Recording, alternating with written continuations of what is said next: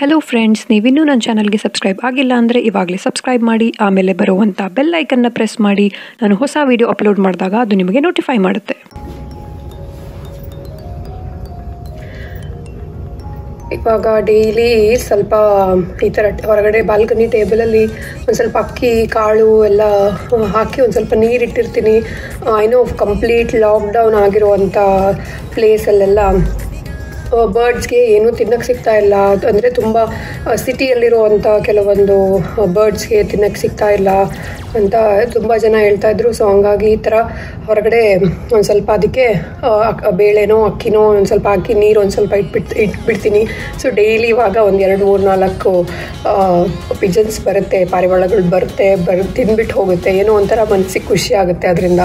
So ನೀವು ಅಷ್ಟೇ ನಿಮ್ಮನೆ ಬಾಲ್ಕನಿಯಲ್ಲೂ ಸ್ವಲ್ಪ ನೀರು ಅಥವಾ ಏನೋ ಒಂದು ಸ್ವಲ್ಪ ಪಕ್ಷಿಗಳು ಏನು ತಿನ್ನುತ್ತೆ ಅದನ್ನು ಒಂದು ಸ್ವಲ್ಪ ಇಟ್ಟು ಇಟ್ಟು ನೋಡಿ ಖಂಡಿತ ಬರ್ಡ್ಸ್ ಬರುತ್ತೆ. ಅದರಿಂದ ನಿಮ್ಮ ಮನಸ್ಸಿಗೂ ಸ್ವಲ್ಪ ಖುಷಿ ಆಗುತ್ತೆ. ಎಲ್ರಿಗೂ ನಮಸ್ಕಾರ, ನಾನು ಪ್ರಜ್ನಾ. ಎಲ್ಲರೂ ಹೇಗಿದ್ದೀರಾ? ನಿಮ್ಮ ನಿಮ್ಮ ಮನೆಗಳಲ್ಲೇ ಮನೆಗಳಲ್ಲೇ ಇರೋದ್ರಿಂದ ನೀವು ಚೆನ್ನಾಗಿರ್ತೀರಾ ಅಂತ ಭಾವಿಸ್ತೀನಿ. ರೀಸೆಂಟ್ ಆಗಿ ನನ್ನ ಒಂದು video red F M Kannada ಅನ್ನುವಂಥ ಒಂದು ಫೇಸ್ಬುಕ್ ಪೇಜ್ನಲ್ಲಿ ಪಬ್ಲಿಷ್ ಆಗಿತ್ತು. ಅದು ನಾನು ಕೆನಡಾದ ಕೊರೋನಾ ಸಿಚುವೇಶನ್ ಬಗ್ಗೆ ಹೇಳಲಿಕ್ಕೋಸ್ಕರ ಮಾಡಿರುವಂಥ ವಿಡಿಯೋ ಅದು. ಒಂದ್ಸರಿ ನೋಡ್ಕೊಂಬನ್ನಿ ಆ ವಿಡಿಯೋನ ಎಲ್ಲರಿಗೂ ನಮಸ್ಕಾರ. ನನ್ನ ಹೆಸರು ಪ್ರಜ್ಞಾ ಜೈನ್ ಅಂತ. ನಾನು ಮೂಲತಃ ದಕ್ಷಿಣ ಕನ್ನಡ ಜಿಲ್ಲೆಯ ಪುತ್ತೂರಿನವಳು. ಇವಾಗ ಸದ್ಯಕ್ಕೆ ಕೆನಡಾದಲ್ಲಿ ವಾಸ ಮಾಡ್ತಾ ಇದ್ದೀನಿ.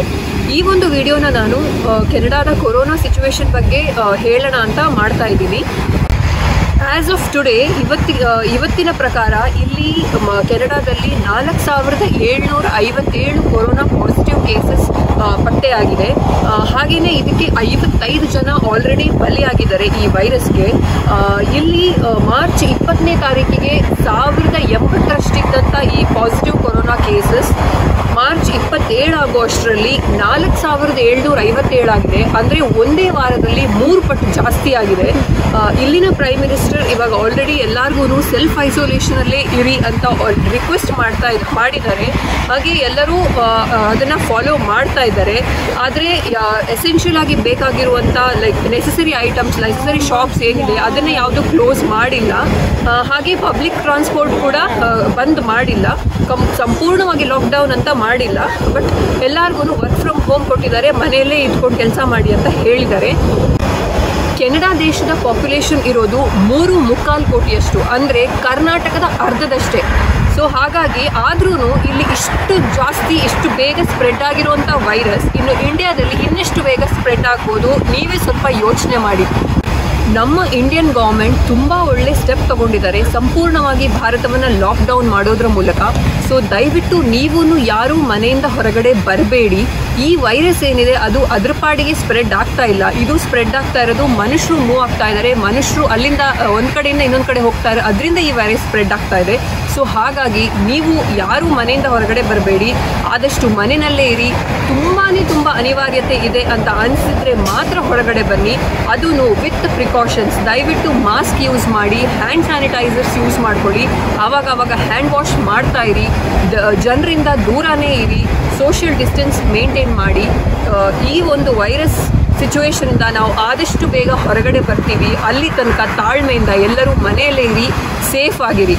ಥ್ಯಾಂಕ್ ಯು ಈ ವಿಡಿಯೋ ಆಕ್ಚುಲಿ ಈ ವಿಡಿಯೋ ಯಾವ ಪೇಜಲ್ಲಿ ಪಬ್ಲಿಷ್ ಆಗಿತ್ತು red F M Kannada channel ಪೇಜಲ್ಲಿ ಆ ವಿಡಿಯೋ ಲಿಂಕ್ ಅನ್ನು ಕೂಡ ನಾನು ಡಿಸ್ಕ್ರಿಪ್ಷನ್ ಹಾಗೆ ಹಾಕಿರ್ತೀನಿ.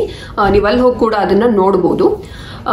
ಫಸ್ಟ್ ಆಫ್ ಆಲ್ ಹೇಳ್ಬಿಡ್ತೀನಿ, ಈ ಒಂದು ವಿಡಿಯೋ ನಾನು ಮಾಡಿರೋದು ನನ್ನ ಅಪಾರ್ಟ್ಮೆಂಟ್ ಕೆಳಗಡೆ ನಿಂತ್ಕೊಂಡೆ. ನಾನು ಯಾವುದೇ ಪಬ್ಲಿಕ್ ಪ್ಲೇಸಸ್ಗೆ ಹೋಗಿಲ್ಲ. ನನ್ನ ಮನೆ ಕೆಳಗಡೆ ನಿಂತ್ಕೊಂಡೆ ನಾನು ಮಾಡಿರುವಂಥ ಒಂದು ವಿಡಿಯೋ ಅಂದ್ರೆ ಕೆನಡಾ ಕೆನಡಾದಲ್ಲಿ ಯಾವ ತರ ಆಗ್ತಾ ಇದೆ ಅನ್ನೋದನ್ನ ಕರೆಕ್ಟ್ ಆಗಿ ತೋರ್ಸಕ್ಕೋಸ್ಕರ ನಾನು ಹೊರಗಡೆ ನಿಂತ್ಕೊಂಡು ಮಾಡಿದೆ. ನಾನು ಯಾವುದೇ ಪಬ್ಲಿಕ್ ಪ್ಲೇಸ್ಗೆ ಹೋಗಿಲ್ಲ. ಅಂಡ್ ಆಲ್ಸೋ ನಾನು ಮಾಸ್ಕ್ ಕೂಡ ಹಾಕಿರ್ಲಿಲ್ಲ. ಯಾಕಂದ್ರೆ ನನ್ನ ಸುತ್ತಮುತ್ತ ಬೇರೆ ಯಾರೂ ಇರಲಿಲ್ಲ. ಸೊ ಅದಕ್ಕೋಸ್ಕರ ನಾನು ಮಾಸ್ಕ್ ಕೂಡ ಹಾಕಿರ್ಲಿಲ್ಲ. ಅದಲ್ ಅದು ಬಿಟ್ರೆ ನಾವು ಯಾವಾಗಲೂ ಹೊರಗಡೆ ಹೋಗ್ಬೇಕಾದ್ರೆ ಮಾಸ್ಕ್ ಹಾಕೊಂಡೇ ಹೋಗ್ತೀವಿ. ಹೋಗ್ಬೇಕಾದ ಪರಿಸ್ಥಿತಿ ಇದ್ರೆ ಏನಾದರೂ ಬೇಕು ನಮಗೆ ಅರ್ಜೆಂಟ್ ಆಗಿ ಅಂತ ಅನ್ಸಿದ್ರೆ ಹೋಗ್ಬೇಕಾದ್ರೆ ಮಾಸ್ಕ್ ಹಾಕೊಂಡೇ ಹೋಗ್ತೀವಿ. ಸೊ ಇದನ್ನೊಂದು ಫಸ್ಟ್ಗೆ ಹೇಳ್ಬಿಡ್ತೀನಿ. ಸೊ ಈ ಒಂದು ವಿಡಿಯೋದಲ್ಲಿ ಬಂದಿದ್ದಂತಹ ಕೆಲವೊಂದು ಕಮೆಂಟ್ಸ್ನ ನೋಡಿ ನನ್ನ ಮನಸ್ಸಿಗೆ ತುಂಬಾ ಬೇಜಾರಾಯಿತು. ಏನಂದ್ರೆ ಕೆಲವರು ಮಾತಾಡಿ ಯಾವ ತರ ಕಮೆಂಟ್ ಮಾಡಿದ್ರು ಅಂದ್ರೆ ಈ ಒಂದು ವೈರಸ್ ಭಾರತಕ್ಕೆ ಬರಲಿಕ್ಕೆ ಕಾರಣ ನಿಮ್ಮಂತಹ ವಿದೇಶದಲ್ಲಿರುವಂತಹ ಭಾರತೀಯರು ನಿಮಗೆ ಮೋಜು ಮಸ್ತಿಗೆ ವಿದೇಶ ಬೇಕು. ಇವಾಗ ನಿಮ್ಗಲ್ಲಿ ಅಪಾಯ ಆಗ್ತಾ ಇದೆ, ಅಲ್ಲಿ ಇರೋಕೆ ಸಮಸ್ಯೆ ಆಗ್ತಾ ಇದೆ ಅನ್ಬೇಕಾದ್ರೆ ಆ ವೈರಸ್ನು ಹೊತ್ಕೊಂಡು ಭಾರತಕ್ಕೆ ಓಡ್ ಬರ್ತಾ ಇದ್ದೀರಾ? ನಿಮಗೆ ನಮ್ಮ ಇಂಡಿಯಾದಲ್ಲಿರುವಂತಹ ಸಾಮಾನ್ಯ ಪ್ರಜೆ, ಪ್ರಜೆಗಳಿಗೆ ತೊಂದರೆ ಕೊಡ್ತಾ ಇದ್ದೀರಾ? ಈ ತರ ಎಲ್ಲ ಕೆಲವೊಂದು ಕಮೆಂಟ್ಸ್ ಇತ್ತು. ಬರೀ ಕೆಟ್ಟ ಕಮೆಂಟ್ಸ್ ಬಗ್ಗೆ ಮಾತ್ರ ಹೇಳ್ತೀರಾ? ಅದರಲ್ಲಿ ಒಳ್ಳೆ ಕಮೆಂಟ್ಸ್ ಕೂಡ ಇತ್ತು. ಅವರಿಗೆಲ್ಲ ತುಂಬ ಥ್ಯಾಂಕ್ ಯು ಒಳ್ಳೆ ಕಮೆಂಟ್ಸ್ ಹೇಳಿರೋರಿಗೆ. ಆದರೆ ಕೆಲವರ ಒಂದು ಕಮೆಂಟ್ಸ್ ನೋಡಿ ನನಗೆ ಏನು ಅನ್ನಿಸ್ತು ಅನ್ನೋದನ್ನು ನಿಮ್ಮ ಹತ್ರ ಶೇರ್ ಮಾಡ್ಕೋಬೇಕು ಅನ್ನೋದಕ್ಕೋಸ್ಕರ ನಾನು ಈ ಒಂದು ಪರ್ಟಿಕ್ಯುಲರ್ ವಿಡಿಯೋ ಮಾಡ್ತಾ ಇರೋದು.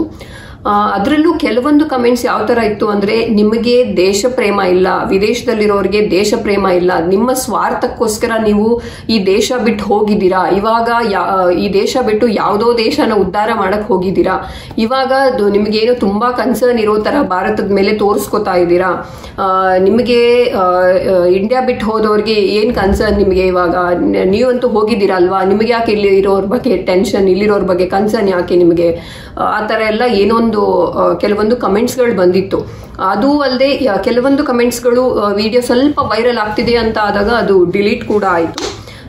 ಸೊ ದೇಶ ಪ್ರೇಮದ ಮೇಲೆ ಕಮೆಂಟ್ಸ್ ಬಂದಾಗ ನನ್ನ ಮನಸ್ಸಲ್ಲಿ ಕೆಲವೊಂದು ಪ್ರಶ್ನೆಗಳು ಬಂತು. ಹಾಗಿದ್ರೆ ನಮ್ಮ ದೇಶ ಬಿಟ್ಟು ನಾವು ಬೇರೆ ದೇಶಕ್ಕೆ ಬರೋದು ಅಷ್ಟೊಂದು ದೊಡ್ಡ ತಪ್ಪ. ಅದು ದೇಶದ್ರೋಹನ. ಹಾಗಿದ್ರೆ ದೇಶ ಬಿಟ್ಟು ವಿದೇಶದಲ್ಲಿ ಬಂದಿರೋರಿಗೆ ನಮ್ಮ ದೇಶದ ಬಗ್ಗೆ ಮಾತಾಡೋ ಯಾವ ಯೋಗ್ಯತೆ, ಅರ್ಹತೆ ಇಲ್ವಾ? ಅನ್ನುವಂತಹ ಕೆಲವೊಂದು ಸಮ ಕ್ವೆಶ್ಚನ್ಗಳು ನನ್ನ ಮನಸ್ಸಲ್ಲಿ ಬರಕ್ಕೆ ಸ್ಟಾರ್ಟ್ ಆಯಿತು.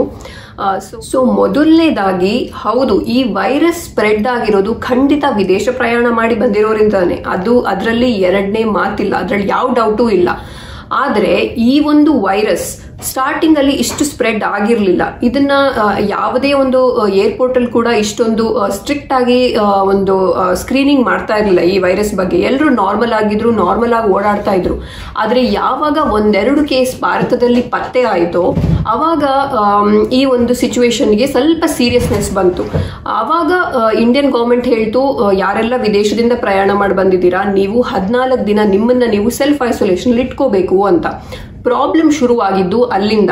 ಯಾರಿಗೆಲ್ಲ ಸೆಲ್ಫ್ ಐಸೋಲೇಷನ್ ಅಲ್ಲಿ ಇರಿ ಅಂತ ಹೇಳಿದ್ರು ಅವ್ರು ಅದನ್ನ ಸೀರಿಯಸ್ ಆಗಿ ತಗೊಳ್ದೆ ಬೇಜವಾಬ್ದಾರಿಯಿಂದ ಮದುವೆ, ಮುಂಜಿ, ಅದು, ಇದು ಅಂತ ಇದ್ದ ಬದ್ದ ಕಡೆ ಎಲ್ಲ ತಿರುಗಾಡಿದ್ರು. ಅವರಿಂದಾಗಿ ಈ ಸಮಸ್ಯೆ ಶುರು ಆಗಿದ್ದು ಸೊ ಈ ಒಂದು ವೈರಸ್ ಬರೀ ವಿದೇಶದಲ್ಲಿ ಸೆಟಲ್ ಆಗಿರೋರಿಂದ ಮಾತ್ರ ಅಲ್ಲ, ವಿದೇಶದಲ್ಲಿ ಸೆಟಲ್ ಆಗಿ ಇಂಡಿಯಾಗೆ ಪ್ರಯಾಣ ಮಾಡಿ ಬಂದಿರೋರಿಂದ ಮಾತ್ರ ಅಲ್ಲ ಈವನ್ ವಿದೇಶಕ್ಕೆ ಕೆಲವೊಂದು ಟೂರ್ ಪರ್ಪಸ್ ಆಗಿರ್ಬೋದು ಅಥವಾ ಬಿಸ್ನೆಸ್ ಇಂದ ಒಂದು ವಾರ, ಎರಡು ವಾರ ಅಂತ ಹೋಗಿರೋರಿಂದ ಆಗಿರ್ಬೋದು ಅವರಿಂದನೂ ಸ್ಪ್ರೆಡ್ ಆಗಿದೆ. ಅಂಡ್ ಈವನ್ ಕೆಲವೊಂದು ಸೆಲೆಬ್ರಿಟೀಸ್ ಅವ್ರ ಬಗ್ಗೆ ನಾನು ನಿಮಗೆ ಹೇಳಲೇಬೇಕಾಗಿಲ್ಲ, ಅವರ ಅವರ ಜವ, ಬೇಜವಾಬ್ದಾರಿಯಿಂದ ಕೂಡ ಈ ಒಂದು ವೈರಸ್ ಏನಿದೆ, ತುಂಬಾನೇ ಜಾಸ್ತಿ ಸಂಖ್ಯೆಯಲ್ಲಿ ಇಂಡಿಯಾದಲ್ಲಿ ಸ್ಪ್ರೆಡ್ ಆಗಕ್ಕೆ ಕಾರಣ ಆಯಿತು. juventud. ಎಷ್ಟೋ ಜನ ಇಲ್ಲಿ ವಿದೇಶದಲ್ಲಿ ಇರುವಂತಹ ಭಾರತೀಯರು ಈ ಒಂದು ವೈರಸ್ ಸಿಚುವೇಶನ್ ಇಂದಾಗಿ ಅವರು ಊರಿಗೆ ಬಂದು ಎಷ್ಟೋ ವರ್ಷ ಆಗಿದೆ, ಇವಾಗ ಈ ವರ್ಷ ಬರಬೇಕು ಅಂತ ಅನ್ಕೊಂಡಿದ್ರು ಟಿಕೆಟ್ಸ್ ಕೂಡ ಬುಕ್ ಆಗಿತ್ತು. ಆದ್ರೆ ಈ ಒಂದು ವೈರಸ್ ಸಿಚುವೇಶನ್ ಇಂದ ಬೇಡ, ಇವಾಗ ನಾವು ಟ್ರಾವೆಲ್ ಮಾಡೋದು ಬೇಡ. ಇದರಿಂದ ನಮ್ಮ ಇದಕ್ಕೆ ಅಪಾಯ ಅಲ್ಲದೆ ನಮ್ಮ ಜೊತೆ ಇರೋ ಬೇರೆಯವ್ರಿಗೂ, ಆಮೇಲೆ ಇಂಡಿಯಾಗೆ ಹೋದ್ಮೇಲೆ ಅವ್ರಿಗೂ ಕೂಡ ಇದರಿಂದ ಅಪಾಯ ಆಗುತ್ತೆ ಅಂತ ಅಂದ್ಕೊಂಡು ಅವ್ರನ್ನ ಅವರ ಪ್ರಯಾಣನ ಕ್ಯಾನ್ಸಲ್ ಮಾಡ್ಕೊಂಡಿದ್ದಾರೆ.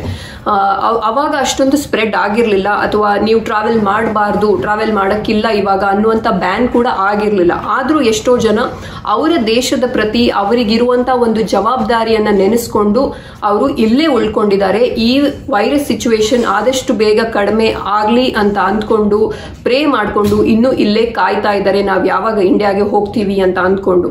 ಸೊ ಎಲ್ರೂ ಬೇಜವಾಬ್ದಾರಿಯಿಂದ ಇರಲ್ಲ. ವಿದೇಶದಿಂದ ವಿದೇಶದಲ್ಲಿರ್ಬೋದು ಅವರು. ಹಾಗಂತ ಅವ್ರಿಗೆ, ಅವರ ದೇಶದ ಪ್ರತಿ ಯಾವುದೇ ಜವಾಬ್ದಾರಿ ಇಲ್ಲ ಎಲ್ಲರೂ ಬೇಜವಾಬ್ದಾರಿಯಿಂದ ನಡ್ಕೊಂಡ್ರು ಅಂತ ಖಂಡಿತ ಇಲ್ಲ. ಎಲ್ಲ, ಎಲ್ಲರಲ್ಲೂ ಒಂದು ಎಕ್ಸೆಪ್ಷನ್ಸ್ ಅಂತ ಇರುತ್ತೆ. ಅದು ಇಲ್ಲಿರೋರಾಗಿರ್ಬೋದು, ಅಲ್ಲಿರೋರಾಗಿರ್ಬೋದು, ಯಾರಾದರೂ ಆಗಿರ್ಬೋದು ಎಲ್ಲ ಎಲ್ಲ ಕಡೆ ಒಂದು ಎಕ್ಸೆಪ್ಷನ್ ಅಂತ ಇರುತ್ತೆ. ಸೊ ಅವರಿಗೆ, ಅವರ ದೇಶದ ಕಡೆ ಒಂದು ಜವಾಬ್ದಾರಿ ಫೀಲ್ ಆಗಿರಲ್ಲ.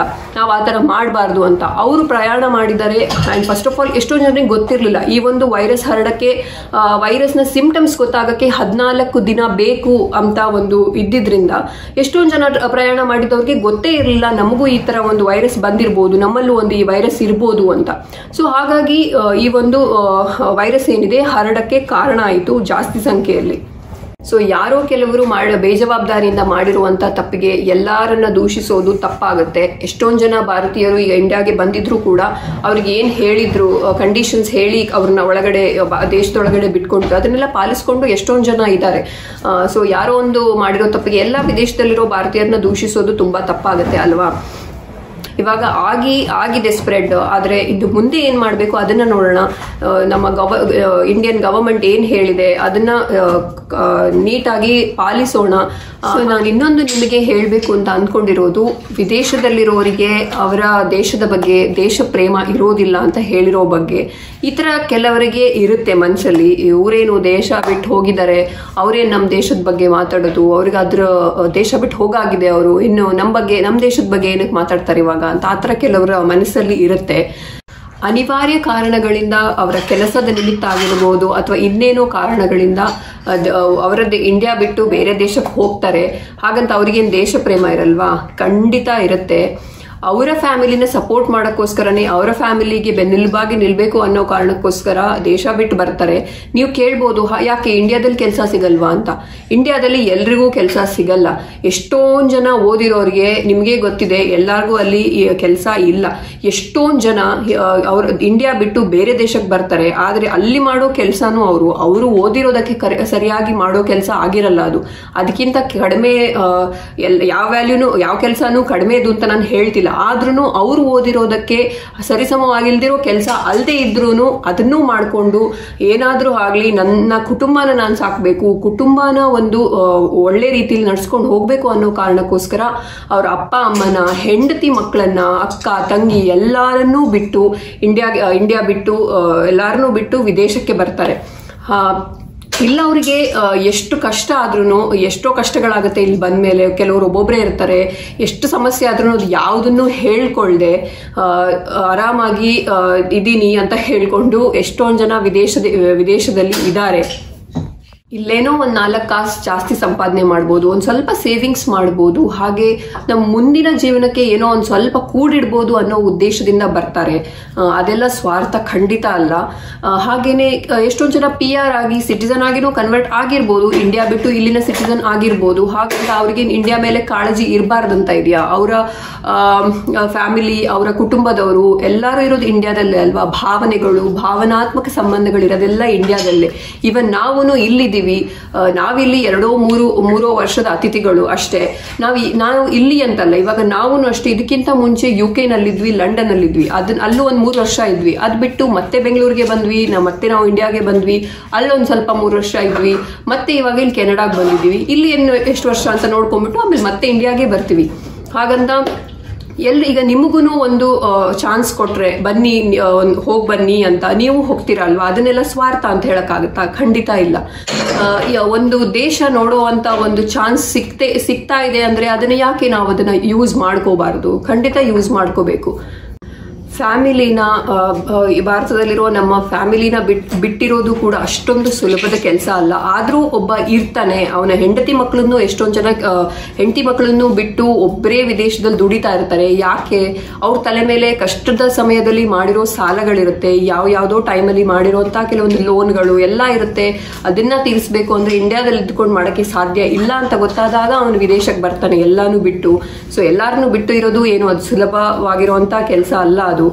ಸೊ ಹೇಳ್ಬೇಕಂದ್ರೆ ವಿದೇಶದಲ್ಲಿರೋರಿಗೆ ಒಂದ್ ಸ್ವಲ್ಪ ಜಾಸ್ತಿನೇ ದೇಶ ಪ್ರೇಮ ಇರುತ್ತೆ. ಅವ್ರಿಗೆ ಗೊತ್ತಿರುತ್ತೆ ಇಂಡಿಯಾದಲ್ಲಿದ್ದಾಗ ನಾವು ಹೇಗಿದ್ವಿ, ಈಗ ಬೇರೆ ದೇಶದಲ್ಲಿ ಬಂದು ಯಾವ ತರ ಇದೀವಿ ನಾವು. ಇಂಡಿಯಾದಲ್ಲಿ ಇದ್ದಿದ್ರೆ ಇನ್ನೂ ಒಂದ್ ಸ್ವಲ್ಪ ಚೆನ್ನಾಗಿರ್ತಿತ್ತು. ಆ ತರದೆಲ್ಲ ಯೋಚನೆಗಳು ಅವ್ರ ತಲೆನಲ್ಲೂ ಇರುತ್ತೆ.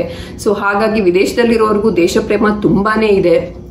ಸೊ ಇಷ್ಟೆಲ್ಲ ನಾನು ಹೇಳಿರೋದು ಕೇವಲ ವಿದೇಶದಲ್ಲಿರೋರಿಗೆ ದೇಶ ಪ್ರೇಮ ಇಲ್ಲ ಅಂತ ಹೇಳಿರೋರಿಗೆ ಇಂಥ ಮನಸ್ಥಿತಿ ತುಂಬಾ ಜನರಿಗಿದೆ ಆಕ್ಚುಲಿ ಇವರೇ ದೇಶ, ವಿದೇ, ದೇಶ ಬಿಟ್ಟು ವಿದೇಶ ಹೋಗಿದ್ದಾರೆ. ಅವರ ಸೆಲ್ಫಿಶ್ ರೀಸನ್ಗೋಸ್ಕರ ದೇಶ ಬಿಟ್ಟು ಹೋಗಿದ್ದಾರೆ. ಇವಾಗ ಯಾಕೆ ಅವ್ರು ಇಂಡಿಯಾ ಬಗ್ಗೆ ಮಾತಾಡಬೇಕು? ಅವ್ರಿಗೆ ಆ ಅರ್ಹತೆ ಇಲ್ಲ ಅಂತ ಅನ್ಕೊಂಡಿರೋರು ತುಂಬಾ ಜನ ಇದ್ದಾರೆ. ಅಂತ ಮನಸ್ಥಿತಿಗಳು ತುಂಬಾ ಜನರಲ್ಲಿ ನಾನು ನೋಡಿದ್ದೀನಿ. ಸೊ ಅಂಥವ್ರಿಗೋಸ್ಕರ ನಾನು ಈ ಒಂದು ವಿಷಯದ ಬಗ್ಗೆ ಮಾತಾಡ್ಬೇ, ಮಾತಾಡಬೇಕಾಗಿ ಬಂತು ಅಷ್ಟೇ.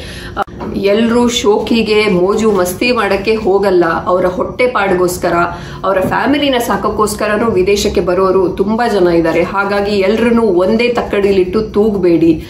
ಸೊ ದೇಶದ ಪ್ರೇಮದ ಬಗ್ಗೆ ಮಾತಾಡ್ತಿರ್ಬೇಕಾದ್ರೆ ನಿಮಗೆ ನನ್ನ ಮಗನ ದೇಶದ ಪ್ರೇಮದ ಬಗ್ಗೆನೂ ತೋರಿಸ್ಬಿಡ್ತೀನಿ. ಆ, ಇವಾಗ ರಜಾ ಆಗಿರೋದ್ರಿಂದ ಮನೇಲೇ ಇರೋದ್ರಿಂದ ಎಲ್ಲ ರಾಶಿ ಹಾಕೊಂಡ್ಬಿಟ್ಟು ಅವನ ಪಾಡಿಗೆ ಆಟಾಡ್ತಾ ಇದ್ದಾನೆ. ರಿಯಾಂಜ್ ನಿನಗೆ ಕೆನಡಾ ಇಷ್ಟನಾ ಇಂಡಿಯಾ ಇಷ್ಟನಾ? ಇಂಡಿಯಾ ತುಂಬಾ ಇಷ್ಟ. ಹಾಗಿದ್ರೆ ಅಪ್ಪನ ಕೆಲಸ ಎಲ್ಲ ಮುಗಿದ್ಮೇಲೆ ನಾವು ವಾಪಸ್ ಇಂಡಿಯಾಗೆ ಹೋಗೋಣ? ಹೋಗೋಣ? ಸೊ ಇದೆಲ್ಲ ಹೇಳಾದ್ಮೇಲೆ ನನಗೊಂದು ಹಾಡು ನೆನಪಾಗ್ತಾ ಇದೆ. ಜಿ ಎಸ್ ರುದ್ರಪ್ಪ ಅವರ ಸಾಹಿತ್ಯ ಇರುವಂಥದ್ದು ಕಾಣದ ಕಡಲಿಗೆ. ಹಾಡಕ್ಕೆ ಟ್ರೈ ಮಾಡ್ತೀನಿ. ಹಾಡಕ್ಕೆ ಬರಲ್ಲ ನನಗೆ ಬಟ್ ಸ್ಟಿಲ್ ಟ್ರೈ ಮಾಡ್ತೀನಿ. ಕಾಣದ ಕಡಲಿಗೆ ಹಂಬಲಿಸಿದೆ ಮನ. ಕಾಣಬಲ್ಲೆನೆ ಒಂದು ದಿನ ಕಡಲನು ಕೂಡಬಲ್ಲೆನೆ ಒಂದು ದಿನ ಕಾಣಬಲ್ಲೆನೆ ಒಂದು ದಿನ ಕಡಲನು